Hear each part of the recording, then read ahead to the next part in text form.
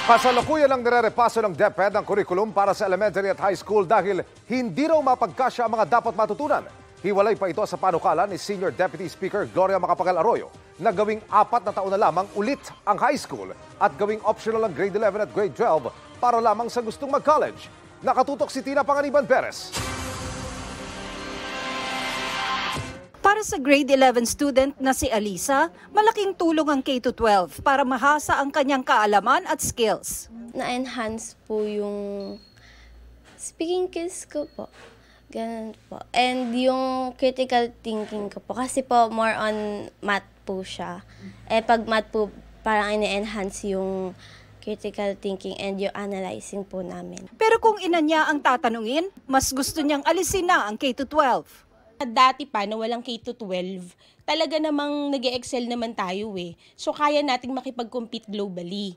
So, anong use ng K-12? Sa akin, pa bilang magulang, dagdag burden yan eh. Sa oras ng mga anak ko, sa ah, gastos, Sa Kamara, inihain ni Senior Deputy Speaker at ating Pangulo Gloria Macapagal Arroyo ang panukala para sa K plus 10 plus 2 kung saan gagraduate na sa high school pag natapos sa grade 10 ang estudyante o tulad ng dati na hanggang 4th year high school lang.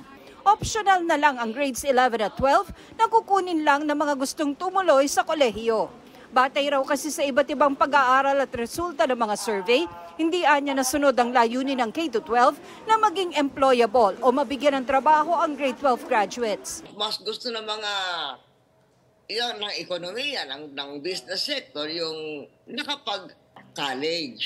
Kahit Opo. na hindi natapos ng college, mas gusto pa rin nila yung nakapag-college kaysa yung nakapag-senior high school. Kung hindi naman sila magbabalak na pumunta sa university, mag-graduate na sila after K plus 10. Maka, para makatulong na sila sa kanilang mga magulang, sa sakahan, sa sari-sari store, at ibang mga micro-business. Paano naman ang gastos? Pareho lang ang gastos. Okay. In fact, in fact, menos ang gastos. Okay. Kasi kung wala naman silang balak pumasok sa university, eh mag-graduate na sila after, Opo. K to 10. Bago inihain ni Arroyo ang panukala, kinonsulta raw muna niya si Vice President at DepEd Secretary Sara Duterte. Sa ngayon abala ang DepEd sa pagrepaso sa curriculum ng K-12. Ang para sa kinder hanggang grade 10, tapos na. napaka-congested po ng ating K-10 curriculum at the moment. Napakarami pong kailangan ah, matutunan ang ating mga bata at napakarami pong kailangan ituro ng ating mga guro na hindi po talaga mapagkakasya sa isang school year. May mga prerequisites na hindi po streamlined. Nasa website ng DepEd ang draft curriculum. Pwede magkomento rito ang publiko. Nasimula na rin ang review sa curriculum ng grades 11 at 12. Ang Alliance of Concerned Teachers may pangamba.